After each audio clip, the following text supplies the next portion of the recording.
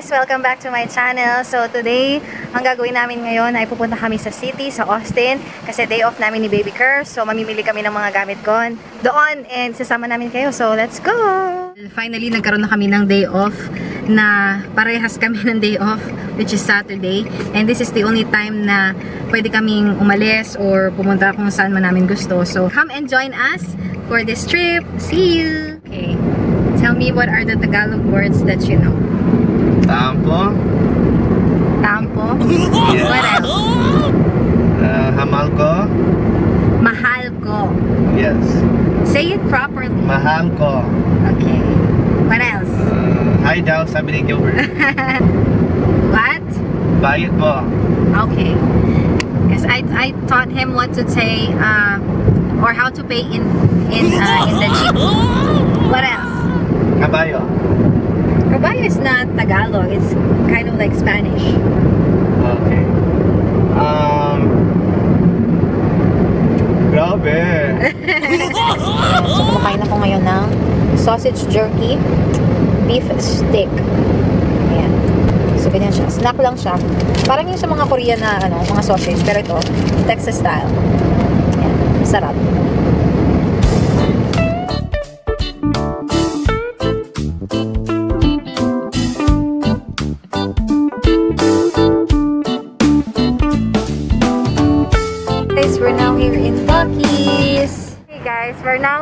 Here Bucky's.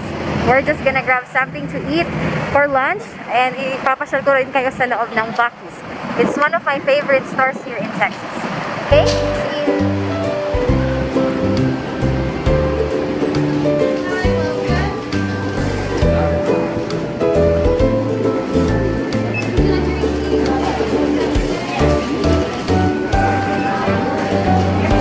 So there's a lot of Texas things here.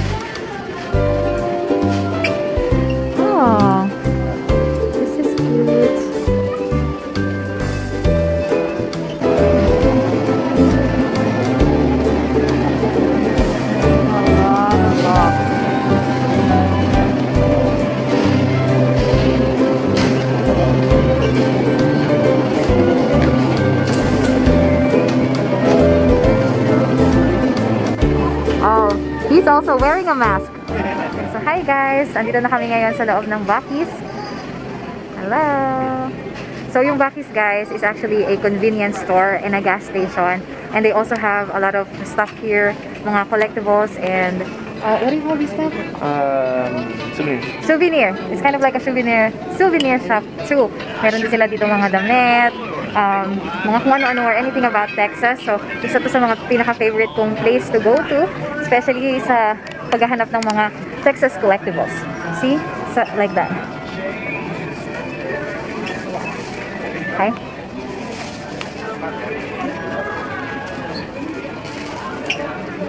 Texas flag. So ngayon maghahanap kami ng something na pwede namin ipadala sa Pilipinas na may Texas, na something na merong Texas. Okay. Texas, Texas. Looks good. These are beef jerkies. Ang dami. Iba't ibang klase. And dito rin yung mga different kinds of meat. Jalapeno na binalot sa bacon. Ayan. Sausages. Wow. And ito na yung mga different kinds of jerkies and different kinds of sausages. A lot. Chocolates!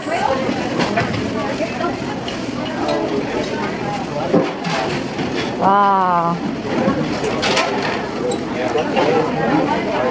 So guys, so maapaw yung kanilang burger.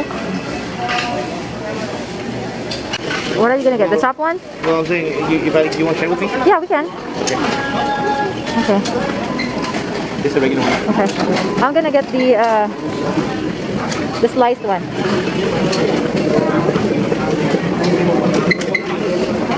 I like the one with pickles and different size hot sauce. Oh, thank you. Yeah, I'm vlogging. Oh, really? Yeah. Hi! Balik na kami sa kotse and dito ulit kami kakain sa loob kasi sa Buc-ee's walang, hindi kasi siya restaurant so walang place doon para ah, kumain. So dito kami sa loob ng car. Maglala!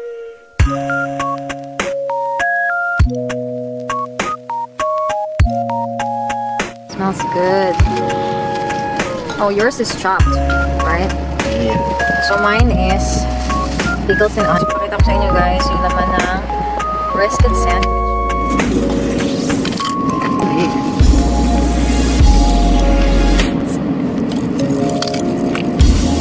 Make sure to this. Ayan guys, as you can see, ang dami niyang meats. Ah, ang sarap. Namin kumain, papasyal naman kami dun sa mga iba-ibang stores dito para mamili ng gamit. Kasi marami din dito ngayon mga stores na nagsasara. So malaki yung mga sale nila. So titingnan namin kung ano yung pwede namin mabili. According to sa kung ano yung budget na meron kami. Hi guys! Dito na kami sa TJ Maxx. So ang dami dito mga iba-ibang stores. And titingnan namin kung ano yung mga sale. Kasi marami ngayon nagsasarado ng mga stores dahil na-bankrupt na sila. So let's go! Dito na kami sa TJ Maxx. Merong pila sa labas, so kailangan muna namin maghintay. I'm shot in that blue blue. Ah, there's a lot here. Is this a... There's a lot.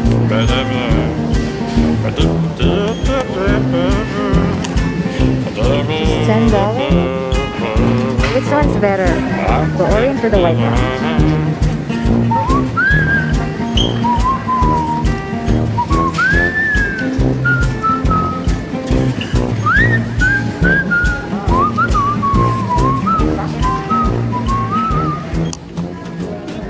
Guys, so tapos na kami mamili sa TJ Maxx. Ngayon naman, pupunta kami sa Ross. This is a Ross. And dito maraming mga cheap na shoes and sale. Nakasale sila. Yung mga branded shoes, nakasale dito. Like, this, this. So, hanap na tayo ng So tapos na kami mamili sa Ross. Ngayon naman, baka magpunta kami sa Walmart or sa HEB para bumili ng mga groceries.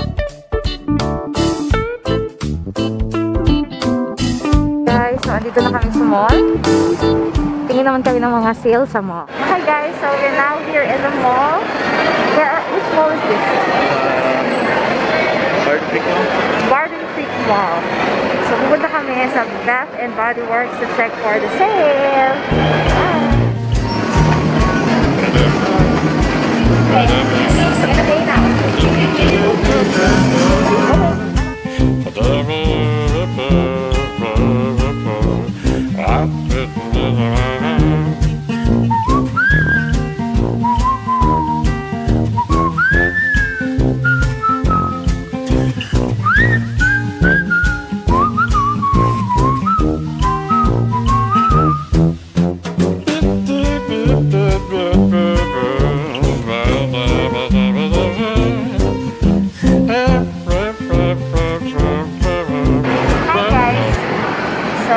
Nagpahinga lang kami dito ng konti and uh, pahinga-pahinga, merienda muna. Say hi, baby girl. Hi, baby girl. What can you say about um, Pinoys? The little? What else? They're very, very nice. They're very, very nice. What's your favorite Pinoy food? Um, Jollibee. the spicy chicken joy. What's your favorite uh, Tagalog word? Um, ayun na ko. No, I'm just kidding. Hi guys! So yan, tapos na kami mag-shopping sa mall. Buti na lang, ah, sakto yung punta namin sa mall kasi ah, 75% off sa ah, Bath and Body Works. So ang dami kong nabili and isi-share ko sa inyo kung ano yung mga nabili ko. Hello guys! So we're back here at home at finally nakauwi na rin kami after one day of um, shopping. And ito papakita ko sa inyo yung mga napamili namin. So ayan, lahat yan almost everything is on sale because yun nga ko sa inyo, ang daming clearance today and uh, buti na lang sa mall na napuntahan namin kanina is tax free so medyo nakamura kami. And the rest ay galing sa Ross and galing sa TJ Maxx and yun nga, naka-clearance siya. Kaya nag-haul ang lola nyo. So again, thank you so much for watching. See ya! okay?